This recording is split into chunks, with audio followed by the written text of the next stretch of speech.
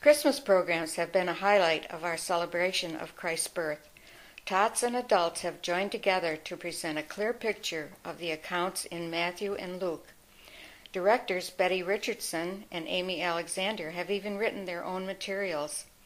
In the 1980s, a major production called The Original Christmas Factory transformed our platform into a huge assembly line for Christmas items with many songs and discussions of what the true meaning of Christmas is. All who were involved in any way will never forget that experience. Each program was not only a way to share our faith with those in attendance, but also a way to develop the talents God has given our young people and spur them on to give their hearts and lives to the service for our Lord.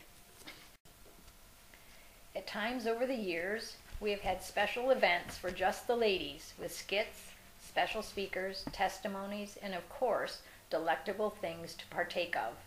The ladies on the planning committees have put many hours into making each event a successful outreach opportunity for our Lord and a good time of fellowship.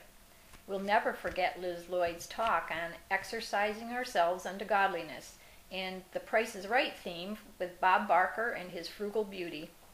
Sandy Rising did a great job of making the transition of some fun to some serious thoughts from God's Word about how we should live our lives for the Lord.